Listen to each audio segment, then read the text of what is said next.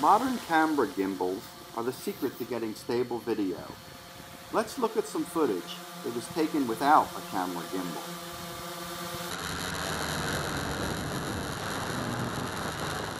That's hard to watch. The gimbal uses a series of motors and sensors to remove vibration and keep the camera level. Notice how the camera stays level no matter what the quadcopter body does.